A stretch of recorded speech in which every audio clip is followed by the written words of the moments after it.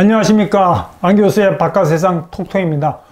요즘 코로나 위기로 미국과 중국 간의 관계가 좀 나빠지고 있지 않습니까? 근데 사실 2018년 봄부터 틀어지기 시작했습니다. 그 무역전쟁이 벌어진 거죠.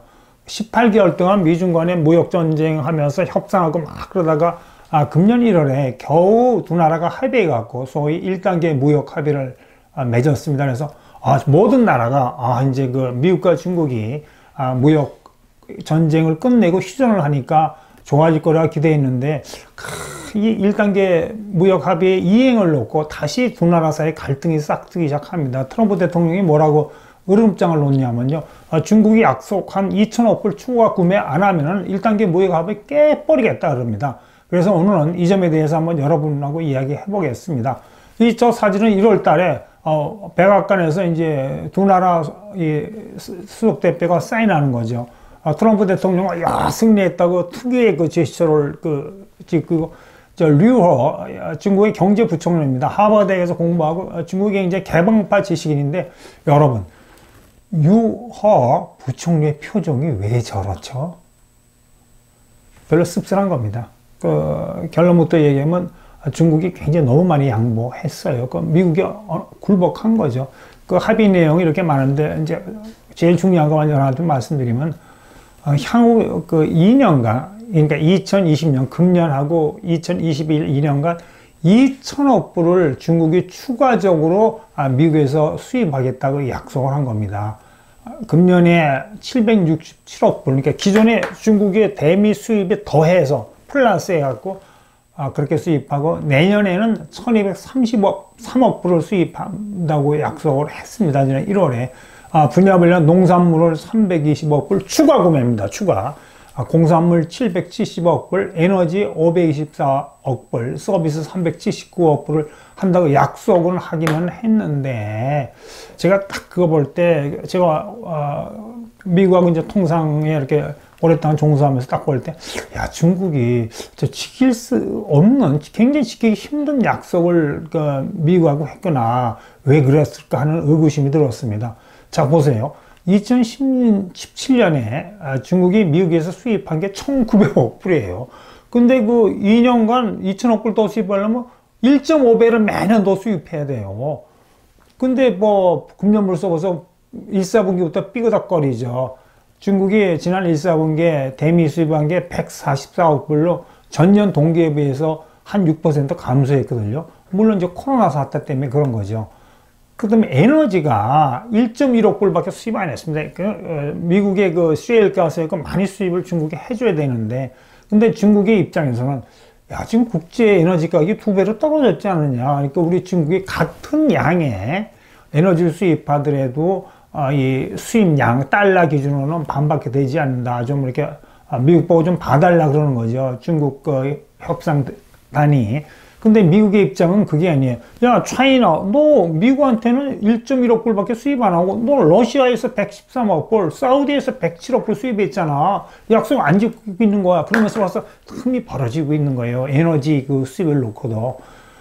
그 다음에 이제 미국 입장에서는 차이나 만약에 그 지난 1월에 약속한 의무를 이행 안 하면 어, 2,800억 불어치의 그 관세를 축소 또는 이렇게 바, 2분의 1로 이렇게 떨어뜨려 줬거든요, 미국이.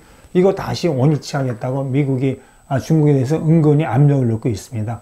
근데 지난 1월에 그 미, 중국이 미국하고 합의할 때 제가 아까 딱 두 가지 아까 2천억 불 추가 수입이 힘들다고 제가 딱 느꼈고 두 번째 아, 저 독소 조항을 베이징이 늦부린 거예요 합의에. 스냅백 저기 뭐냐면은 아, 중국이 약속을 못 지키면 모든 거 원위치시키겠다. 저거 어지간하면 안 넣었으면 좋아하는 건데 아, 중국이 밀린 것 같아요 미국에 대해서요.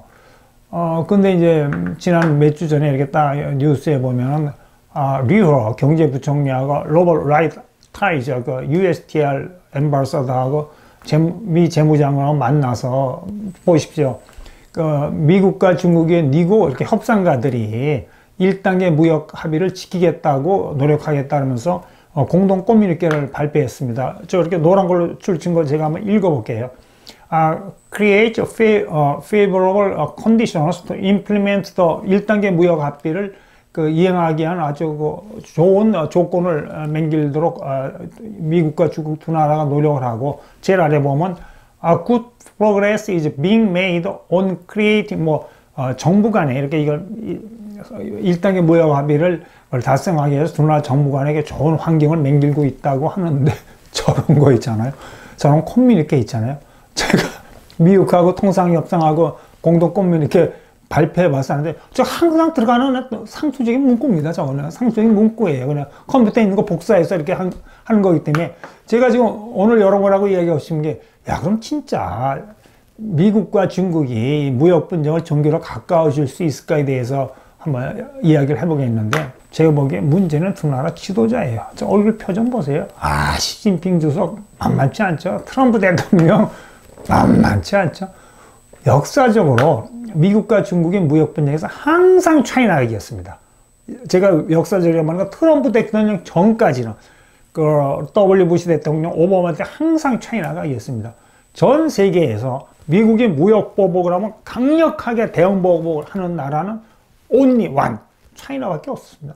일본 있지 않습니까? 일본 80년대 세계 2위 경제대국으로 잘 나갈 때 그냥 미국이 무역 보복하면 일본은 껍벅 죽었습니다. 아, 우리나라는 말도 못해. 이유도 그냥 감히 미국의 대응 보복할 생각을 못했거든요.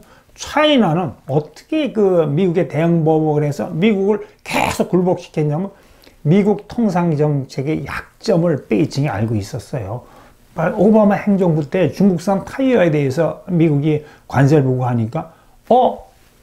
United States 그래? 그럼 우리는 미국에서 수입하는 닭고기에 대해서 보복 관세를 부과하고 트럼프 행정부 때 철강에 대해서 관세 부과하니까 돼지고기 여러분 잘 알죠? 우리나라도 그렇고 미국도 그렇고 농산물 업계, 축산 업계의 국내 정책인 그 영향력이 굉장히 큽니다. 그러니까 미국이 뭐 닭고기 생산 그이 업계, 돼지고기 업계가 막 반발하니까 항상 미국이 슬며시 그냥 뭐 체면국이고 중국에 굴 적당히 양보하든지 그 굴복했거든요.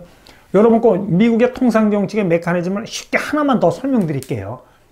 저 마이크로소프트가 MS가 마이크로소프트사가 한때 중국 내에서 컴퓨터 소프트웨어 불법 복제가 많으니까 미국의 USTL한테 불만을 표명하니까 미국의 USTL이 야 China 너 너무 그 이 지재권 위반하면서 소프트 컴퓨터에 불법 복제를 많이 해. 무역보호 하겠어. 딱 그러니까 베이징 절대로 굴복 안 했습니다. 그 당시에는.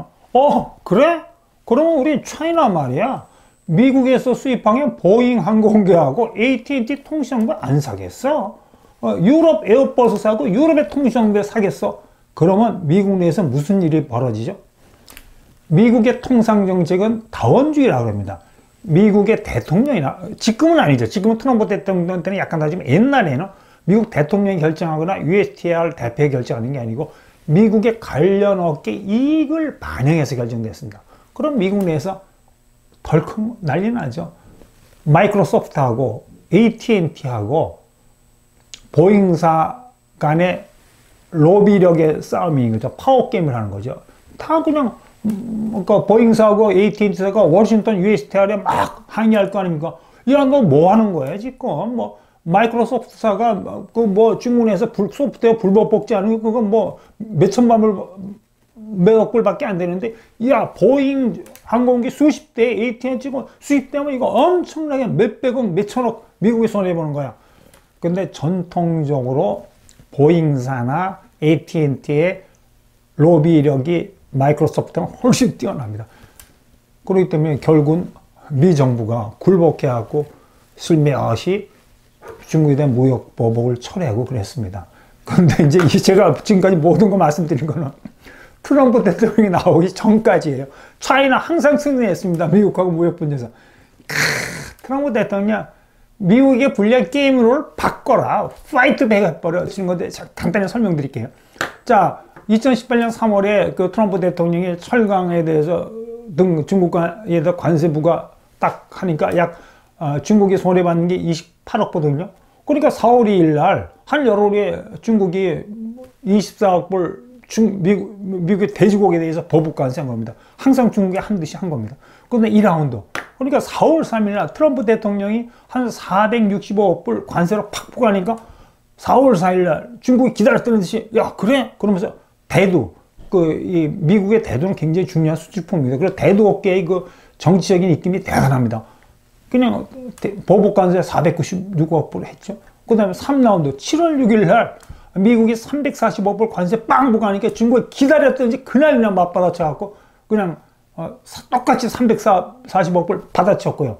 그 다음에 8월 23일 날 160억 불 미국에 빵 때리니까 중국이 160억 불 맞받아쳤거든요. 근데 이제 베이징이 착각한 게 옛날에 W 부시 대통령이나 오바마 대통령은 중국이 이렇게 빠바밤 맞받았지만 그냥 미국이 이미 손들었거든요. 그런데 트럼프는 달랍니다.